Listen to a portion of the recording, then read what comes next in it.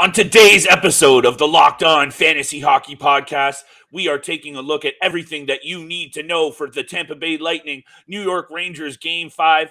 We have a series, baby, and the Tampa Bay Lightning are starting to pick up steam. Is it going to be enough to push the Rangers off?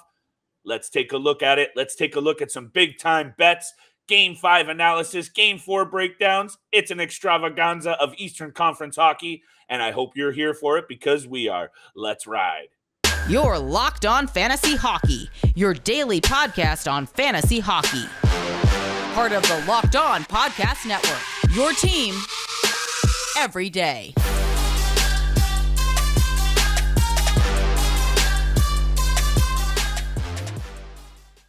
Party people in the place to be, aka tuned in to the Locked On Fantasy Hockey Podcast, Monday to Friday, baby. You know where to find us across all platforms. You find your favorite and hottest content. Thank you so, so much for making us your very first listen every single day. You know, Steele and I really appreciate that. So continue to hammer that subscribe button. We push clear past 100 subscribers. And also, Steele, this is over a hundred episodes for you and I, my friend. And on today's episode, we're well over a hundred. And all that really matters is you are here to get what you need to hear about this beauty of a series emerging from the New York Rangers and Tampa Bay Lightning. The Tampa Bay Lightning draw it up all square at two games apiece in game four. A very beautiful piece of 60 minutes of hockey, end to end. We will be talking about that some injuries for the New York Rangers, some injury news for the Tampa Bay Lightning, all kinds of breakdown on today's episode, including big time bets for tonight's game five pivotal matchup back at Madison Square Garden. Can the Rangers continue to dominate on home ice? Steele and I are going to break it all down for you on today's episode, my friend. So thank you for being here with us. Steele, my co host, my brother, Rangers have been a hot topic on this conversation on this show. I'm intrigued to hear what you think about the performance in game four because we wanted to give a little bit of credit to the Tampa Bay Lightning. We want to talk about Igor Shesterkin. There's a lot to talk about. So why don't you take it away, my friend, for what you saw in game four?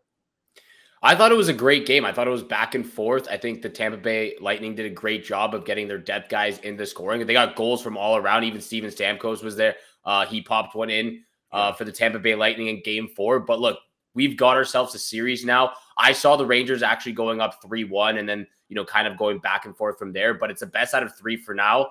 Uh, and this is why home ice advantage is so important in the playoffs because this can happen a lot. We saw that in the Carolina Hurricane series with the Boston Bruins, how every single game the home team won at, uh, at home.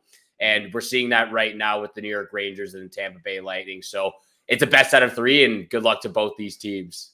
Hey, and this is what we wanted to see after a pretty much of a lackluster series from the Edmonton Oilers and Colorado Avalanche, one that was an outcome that we all predicted. So, this is a bit of a breath of fresh air to see a series that has all the makings of a seven gamer. That's a little bit of a nice change because you know, you and I, we want entertainment, baby. Give us some opportunity to gamble, give us some more games because obviously the Edmonton Oilers just got dusted in four. But I think you immediately bring up a point that I think I wasn't ready to talk about, and one that I think we should and quickly. How good has Steven Stamkos been for the Tampa Bay Lightning? Once again, the Rangers have their boots on the throat of the Lightning in game three, up two goals, and it's really a testament to Steven Stamkos, Victor Hedman, all the leaders in that locker room because the Tampa Bay Lightning don't even flinch. They come back from that two game deficit because, like you said, the Rangers were very close to going up three games in this series. And I think I just wanted to very quickly give some love to Steven Stamkos, the big guns on the Tampa Bay Lightning, because the tide has turned in this series. I'm not ready to give up on the Rangers yet, but if they were able to get that game three, I know it's a lot of ifs here, Steele, but that would have been huge. And now here we go. Like you said, best of three. I'm unsure what happens, but credit due to Steven Stamkos and the big guns on the Tampa Bay Lightning for getting it done. Yeah, he's been absolutely fantastic. And that was a pivotal a pivotal moment in game three in the mm. dying minute uh in the third period. And Chris Kreider, you know, owned up to his mistake. And we talked about this in episodes, uh, a couple episodes ago. Yep. He was caught puck watching. Uh, he lost his man. Nikita Kucherov made an absolutely ridiculous pass yeah. uh, behind the back to Andre Palat for the game winning goal. And that was a momentum shifter, in my opinion. That that third, the game three was as back and forth as you could take, as you could see. And like you said, the Rangers were up two nothing. They had the they had the series in the palm of their hands, in their grasp, and they kind of let it slip away a little bit. Uh, a big mistake from Chris Kreider, which shifted the momentum going into Game Four, and that's what kind of just took it going. And, and Vasilevskiy was huge in Game Four as well. Yeah, and I don't want to go backtrack too much because you know we want to talk about yeah. Game Four, and I think what we can get to next is, and again, credit due to the Tampa Bay Lightning because we know how good Mika Zibanejad has been. He has been the catalyst for the New York Rangers up front, at least. You know, really being the straw that stirs the drink. You know, I love that saying, but it's been true, and he's been really feeling it out there. And the fact that the Tampa Bay Lightning have been able to clamp him down and really limit him to absolutely nothing in game four, no chances. I think it was clear that the rest of that forward group felt that clamp down. And there you go 4 1 final. That was a very neat and tidy performance. Maybe the score isn't as indicative as how close the start and maybe the second period was, because I think that really there's a couple of moments that could have gone either way. But that's a point to be made. And I believe you also wanted to make a point about Igor Shesterkin's play.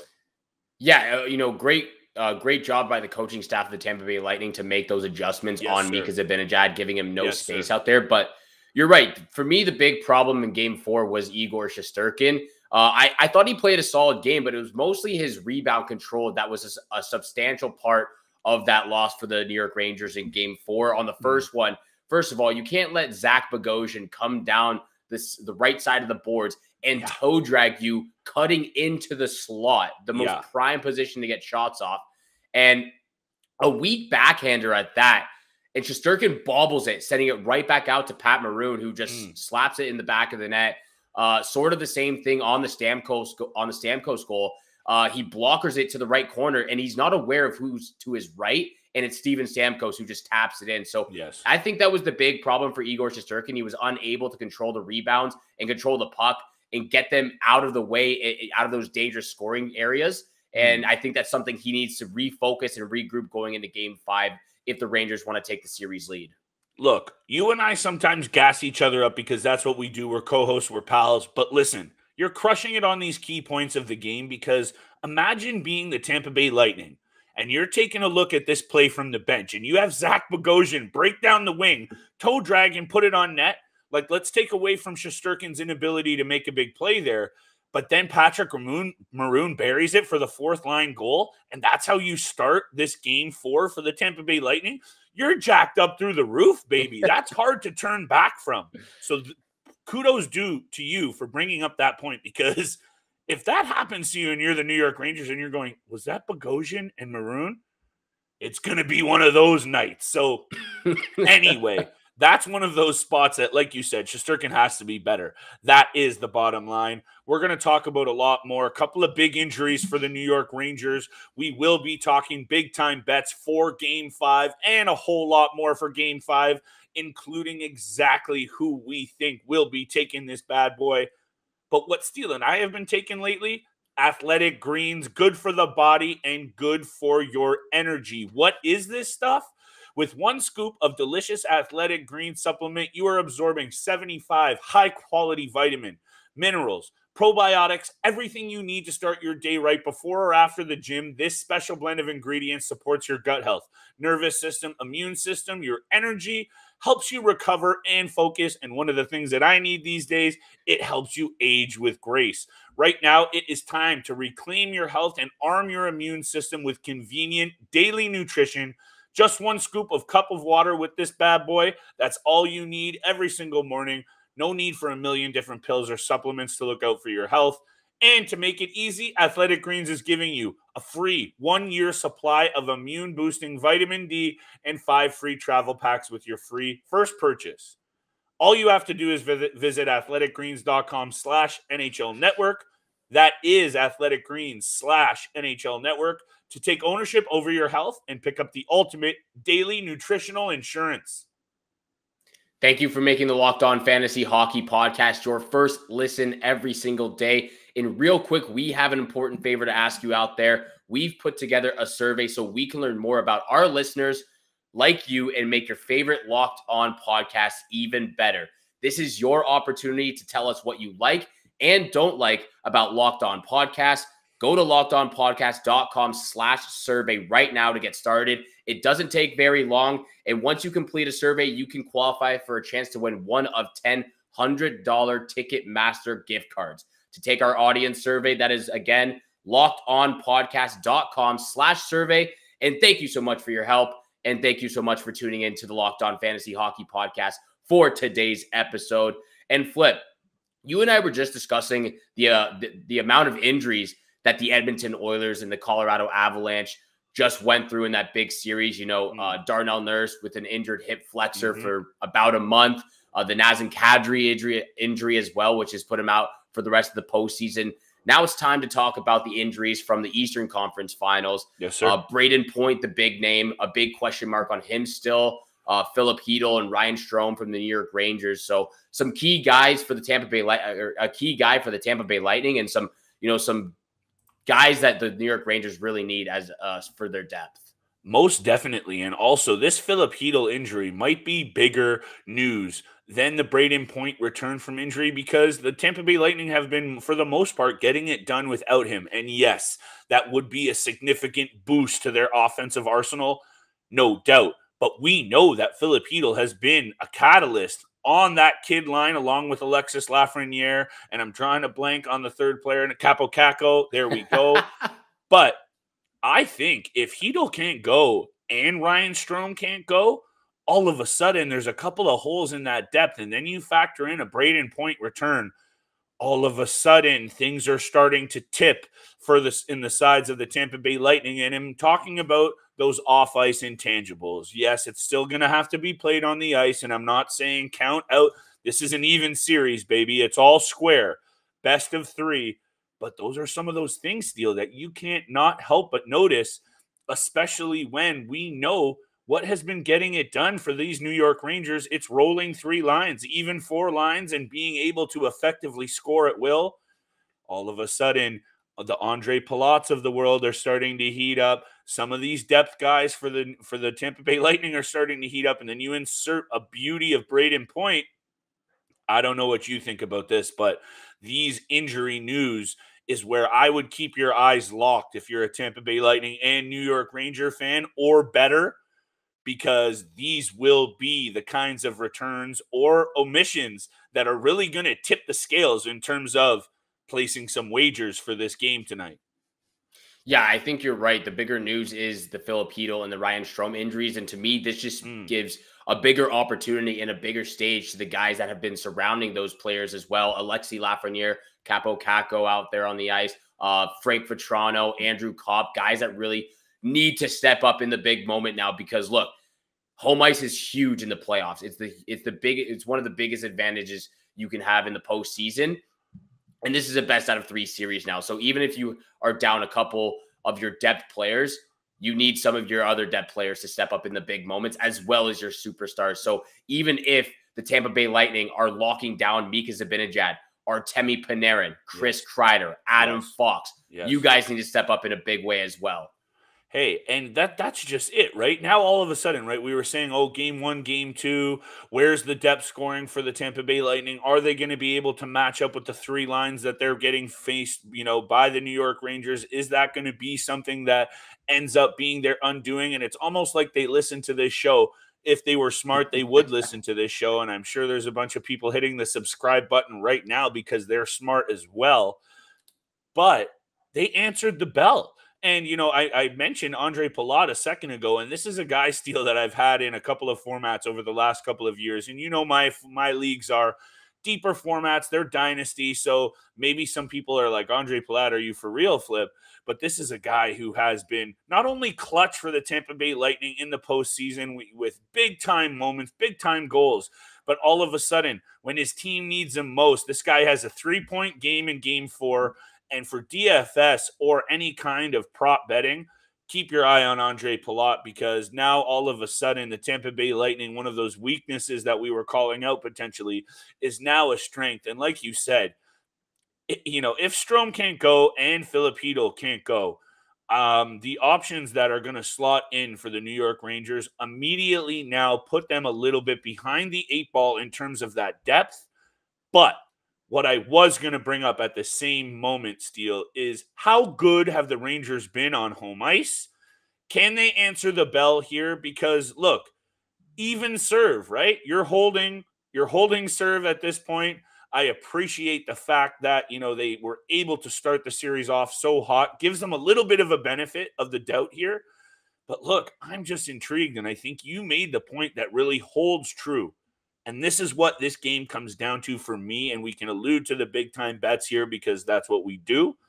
Igor Shesterkin needs to step up big. He needs to step up in a big way. And I know Zibanejad has been so good Steele, but I'm looking right back to him because he is the leader of this team. And I expect him to bounce back in a big way as well. Stay tuned for big time bets.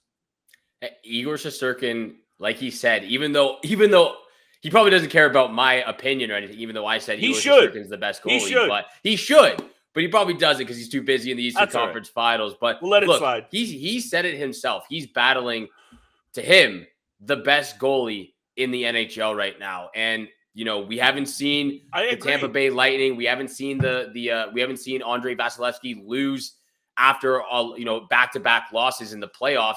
And we just witnessed that. And what does he do? He goes back again and wins two games in a row in some pretty some pretty high fashion. So that's just what you expect from the back-to-back champions. You expect this from you know Steven Stamkos, Andrei Vasilevskiy, Jon Cooper making the adjustments on the fly, which he's need which oh, he had to do yeah. against Mika Zibanejad. And that's just what champions do. So this is gonna be a tough ride, but like like Flip and I've said, this is why home ice advantage uh, is so crucial in the postseason. And they've only lost one time at home, right? And that was against the Pittsburgh Penguins. They they've, are own. I believe they're eight and one at home, or seven and yeah, one, something. They've like been that. absolutely ridiculous this postseason at home, and and that's why that's why home ice is such a crucial part in the postseason. We're gonna get to big time bets very very soon, but quick, I have to tell you guys all about Built Bar. Don't you just love a chewy, chocolatey brownie? And what about a caramel brownie with caramel swirled on top? So good, right? Mm. What if I told you that you can have all the chewy chocolate deliciousness plus 17 grams of protein? You're in luck because caramel brownie bars are available at built.com right now. And you got to act fast because this is a fan favorite right now. Forget about dessert. These are better than dessert. Plus, the macros are absolutely off the charts 130 calories, 17 grams of protein, and only four grams of sugar. I would replace a regular brownie with Built Caramel Brownie in a heartbeat. The best part caramel brownie bars are covered in 100% real chocolate. You know this. It's right up my alley. I love myself some chocolate every single day. And with Built Bar, you don't have to sacrifice taste for healthy. You can have both. There are a million reasons that you should try Built Bar, eh, but for now, let's just say that caramel brownie will rock your world. With Built, Tasty is the new healthy. So go to built.com, get your box of caramel brownie bars right now. If you go to built.com, use the promo code LOCKED15 and get 15% off your order. And I'll say it one more time so it's locked in your brain. Use promo code LOCKED15 for 15% off at built.com. Thank you so much for making the Locked On Fantasy Hockey podcast your first listen every single day. Don't forget, we are free and available on all podcast platforms, which also includes YouTube. So if you haven't yet, hit the subscribe, hit the follow button. And thank you so much for tuning into the Locked On Fantasy Hockey Podcast with Flip Livingstone and Steele Rodin. Flip, big time bets right now. Mm. I'm gonna throw it over to you right away because I'm very intrigued for to see what you you know what your thoughts are for Game Five with all of these injuries that are coming back and the potential return of Brayden Point. Thank What's you. your thought process? First of all, I'm reading some of these quotes from Jon Cooper, and you know we've we've alluded to Jon Cooper being a bit of a mastermind, and I do want to give that credit because I absolutely love Jon Cooper as a head coach. I think for some reason he does not, still does not get enough credit, and I know he's a Jack Adams Award winner, but I still Do not think somehow he does get enough enough credit. But some of these quotes about Brayden Point are pretty wishy washy. So I'm not going to put too much stock in yeah. his return because when I hear a quote like this saying, quote, I can honestly answer this question with an I don't know. Now it's all of a sudden it's an I don't know. I'll find out when I get on the plane. Now all of a sudden my belief in the headlines that the Tampa Bay writers are putting out yeah. of point to return in game 5 possibility little clickbaity. That's okay. That's what some of these guys have to do. So I don't know if I'm putting too much stock in that return. That's number one. Number two, Steele, I wanted to highlight this point. Wow, I'm good. man, we talked really so much about. Cam- hey, sorry, man. I can't help it. I'm getting up there in age. I'm entering the dad mode. This is here. We this is what we do. Adam Fox, Cale Makar, talked about the historic pace that Cale Makar is on. Cale Makar to the nines. Beautiful, beautiful postseason. How about Adam Fox has one more point than Cale Makar? So maybe let's give a little bit of credit to Adam Fox very quickly because I understand what's going on with Cale Makar. It is special, it's historic. He is an amazing player. But Adam Fox, in my opinion, should be right there in that conversation. And that's where I'm starting with my first pick of tonight's deal. Give me an Adam Fox anytime assist. This guy is beautiful in all stages of the ice. I'm talking neutral zone, I'm talking be in his own end, and I'm talking in the offensive zone. This guy gets it done in all peripherals of the ice. And I'm starting right there with an Adam Fox. Anytime Apple, he's going to need to answer the bell, especially if they're clamping down on Mika Zibanejad if they get any power play time at all, they're going to need to capitalize, and Adam Fox is going to need to be a big part of that. Give me an Adam Fox anytime assist. That's my first pick, and I believe you're going to like my second, and I do have a third pick. All right, perfect. I only have two picks on the night. Um, and just from what I saw from game four, how well the Tampa Bay Lightning were able to lock down Mika Zibanejad, you know, we alluded to those other superstars having to step up as well as those depth players as well, of course. Um, having to step up in those big moments with the lockdown of Mika Zibanejad, with the injuries to Ryan Strome and Filip Chytil, I think Artemi Panarin needs to step up in a big way. That's the guy I'm looking towards. As you know, obviously Adam Fox, I think he's been absolutely incredible right there. Like you said, one point more than Cale Makar in the playoffs. But for me, I think Artemi Panarin really needs to step up in game five in a big way. Uh, Mika Zibanejad and Chris Kreider have been, for the most part, the offensive production for the New York Rangers. I think Artemi Panarin needs to be uh, needs to step up in a big way, uh, and I'm going with an anytime goal from Artemi Panarin. I absolutely love it, Steele, because hey, you know what it is, baby. It's not as special when there's only one game, but it's still the big flip triple dip special. They've turned out for me most of the year, and I got to go back to the well. And I'll throw this out there: the total has gone under the number in eight of the last nine playoff games for the Tampa Bay Lightning, going back to playoff series. But I'm seeing, I'm calling out a goaltending battle, old school. This is going to be a slobber knocker grind show. Both teams know how pivotal this is because I'm saying who, and this isn't exactly a stretch. Whoever takes game three is taking this series. I don't think this is going seven games. I think it's Rangers in six, like we both predicted, or it might be Tampa in six. I hope it's the Rangers in six. I really do. But whoever takes this game five, I think takes the series Steele. And I think that kind of pressure, the cup is inches away. I bet you if we look back at this kind of position, deciding game to push the series, you know, one way or the other in the lead up to the cup, I bet you the under hits nine times out of 10. I'm not a good numbers guy, but give me the under 5.5 and I'll finish it right off. My lock of the night New York Rangers get it done in front of the Garden crowd. That's going to be absolutely rocking. If it goes over the number, I'm okay with it because the juice on the Rangers will be worth it, baby, and I'm feeling it. Adam Fox, anytime assist under the number five and a half. And I'm all kinds of fired up for the New York Rangers at home on the money line Steele. That's the triple dip, baby. And I'm going hard in the paint.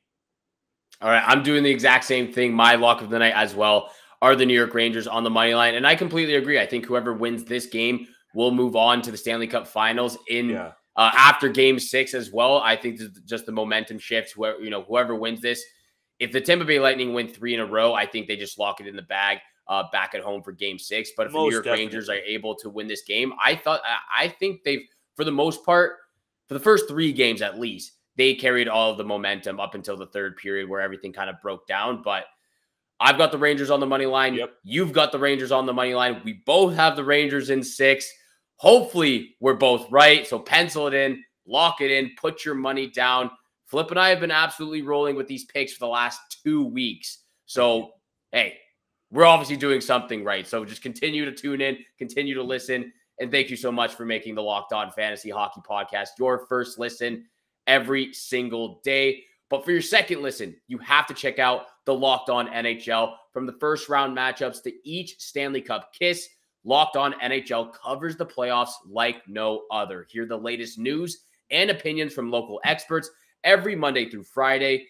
It's free and available wherever you get your podcast, just like this podcast right here. It's free and available Monday through Friday, and you'll get it seven o'clock in the morning Eastern time. Make sure you hit the subscribe, get the hit the follow button. Once you do, you won't miss any of the episodes. Thank you so much for tuning in for today's episode with Flip and I. Have a great day. Good luck with all your bets out there. And we shall see you back here again tomorrow. Peace.